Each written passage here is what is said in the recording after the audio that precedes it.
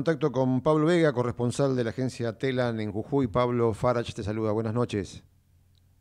Buenas noches, Parach. Buenas noches a toda la audiencia. Gracias por estar en contacto con nosotros, eh, Pablo, y, para poder ayudarnos un poquito a, tener una, lectura de lo que está pasando ahí en Jujuy, en San Salvador, y, cómo, cómo se llega a esto y, poder entender un poquito. Así que me gustaría que,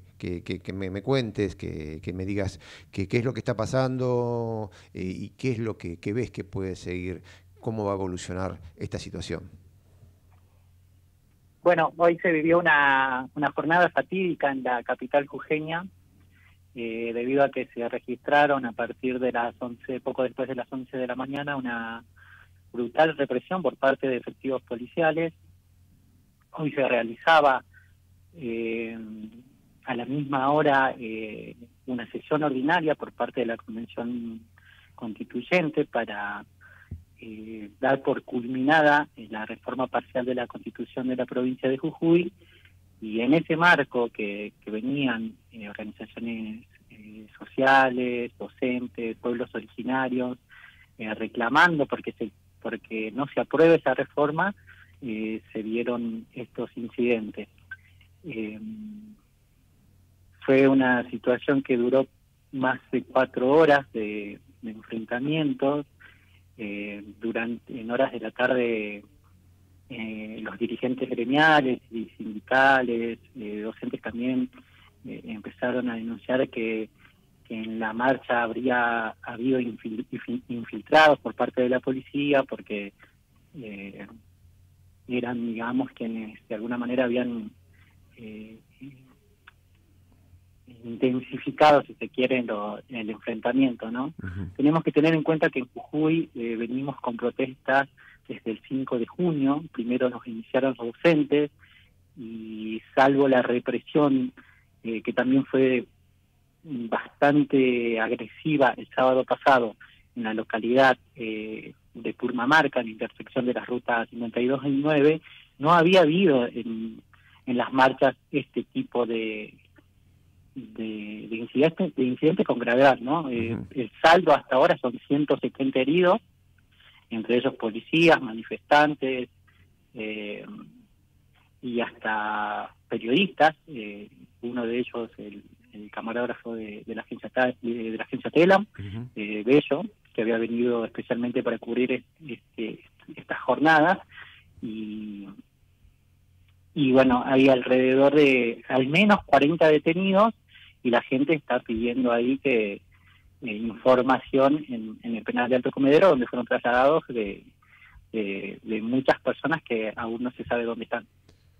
Eh, a partir de la cobertura que vos venís realizando, y bueno, porque además estás, estás, estás instalado en San Salvador, digo, eh, esta noche uno de los pronunciamientos más fuertes que se escucharon, eh, más allá de las distintas declaraciones que hubo durante el día, fue desde Juntos por el Cambio, en que fundamentalmente se responsabilizó a, lo que ellos denominan el kirchnerismo, esta situación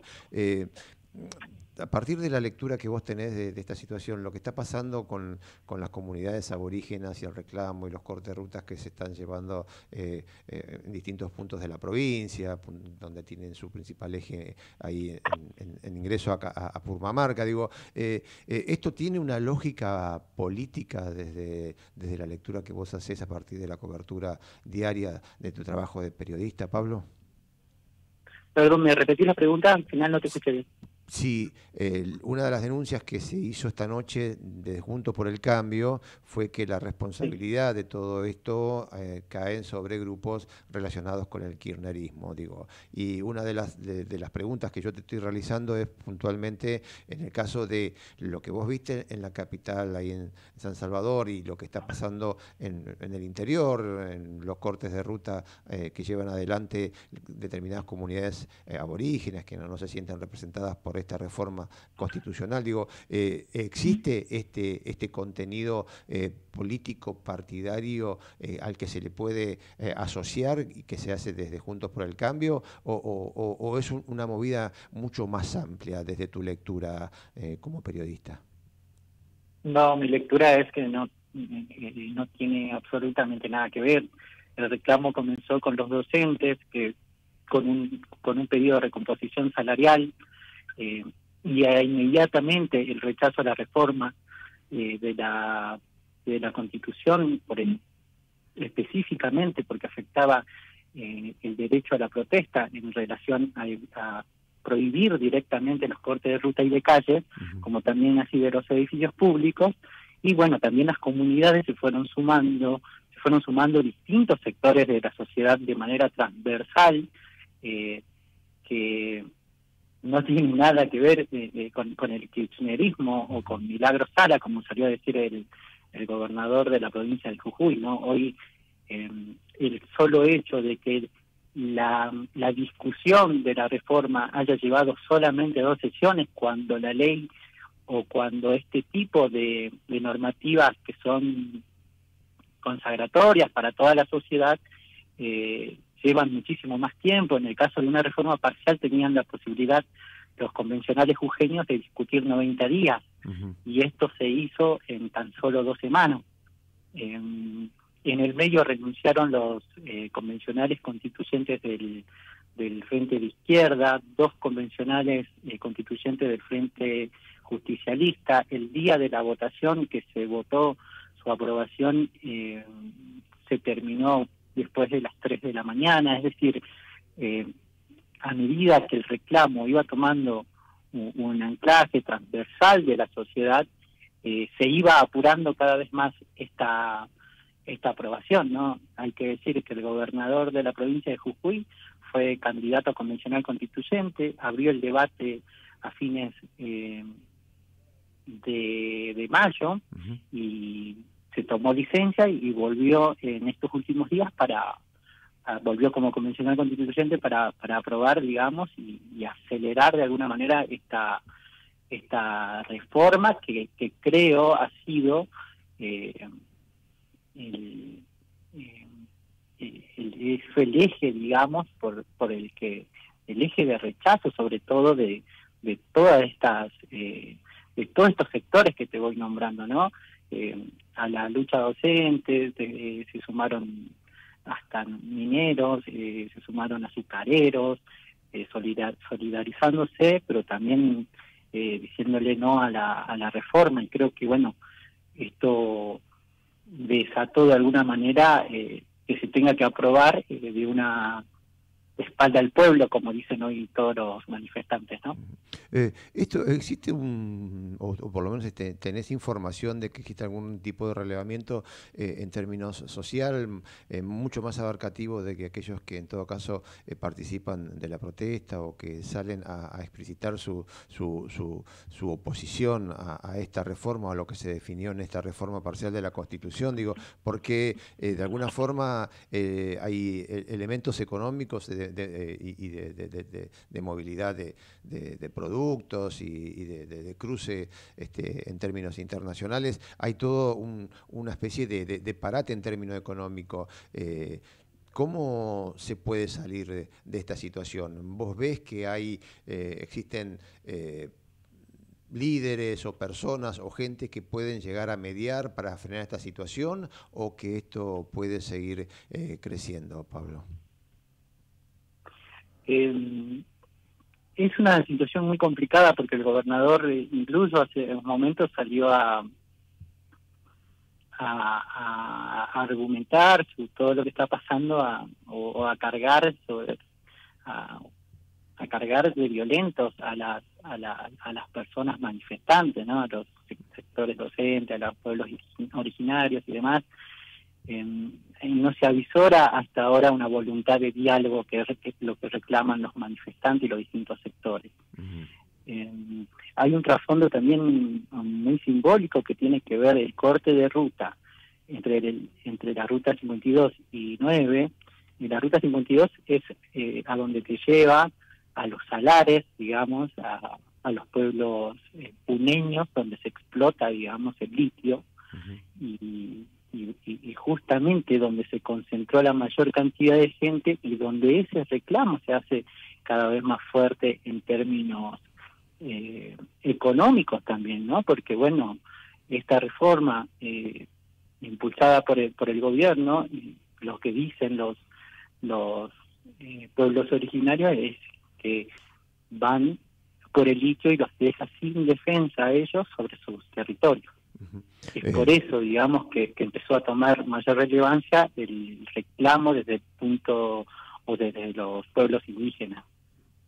Eh, la, la, 52 es la que, la que, o por lo menos en términos turísticos, uno toma ahí en, en, Purmamarca y va por la cuesta del Lipán y, va hacia, hacia, hacia los salares.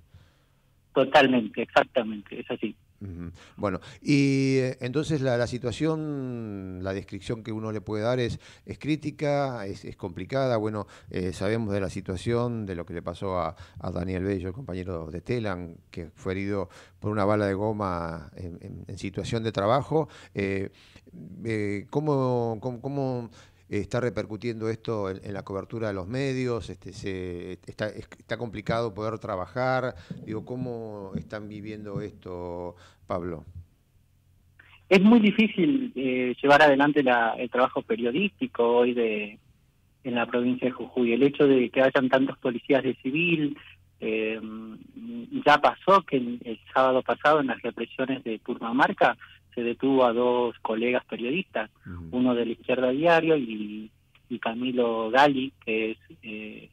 un compañero que trabaja desde la ciudad de Tilcara y se había acercado hasta Purmamarca para realizar la cobertura y mientras estaba filmando fue detenido. Eh, tuvo eh, pasó más de 12 horas detenido y, y, esto y esto hoy también se podía eh,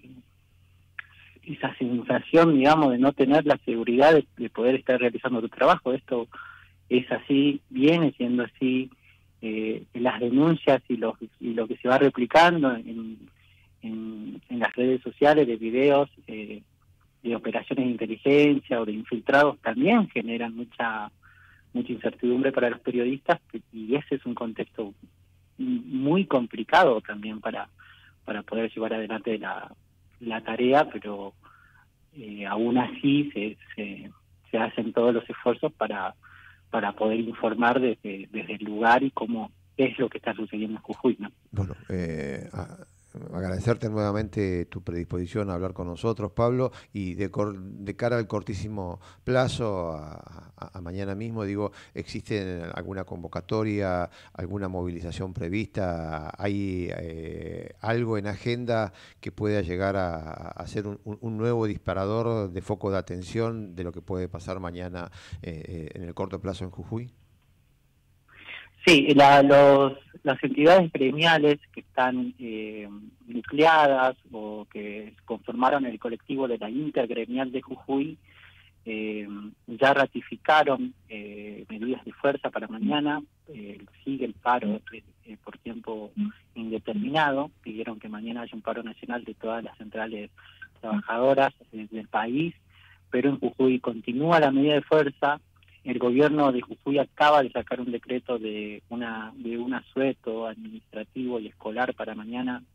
por todos los incidentes que, hubo en esta jornada, así que mm, se, se puede avisorar que, que las medidas de fuerza, las marchas y, y seguramente el conflicto van a tener continuidad porque tampoco hay una eh, no se apela al diálogo por parte de las autoridades jujeñas y, y, se, tampoco pudimos ver alguna acción política, si se quiere, desde el gobierno nacional. ¿no? Eh, Tengamos en cuenta que siguen también siguen los cortes de ruta, hay al menos 20 cortes de ruta en toda la provincia, desde la Guía Cascayuto, es decir, en todas sus regiones, eh, y por lo cual eh, tras los hechos de hoy, se, las comunidades en cada lugar eh, ratifican los bloqueos en, estos corredores viales. ¿Y el aeropuerto está sin operaciones o, se retomaron las operaciones en el aeropuerto de San Salvador?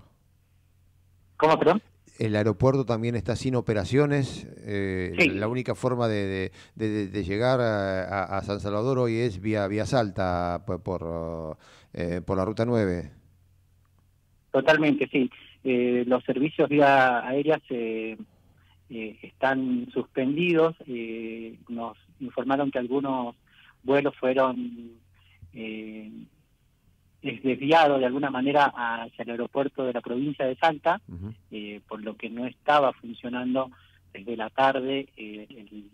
no se estaban recepcionando vuelos en la provincia de Jujuy.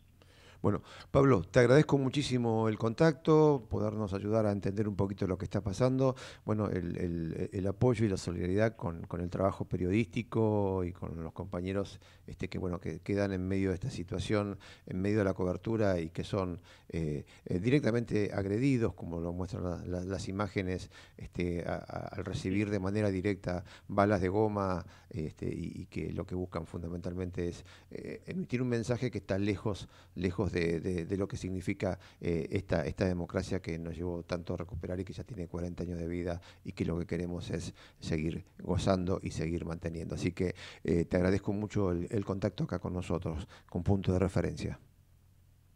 Bueno, muchas gracias a vos y un saludo a toda la audiencia. Un fuerte abrazo.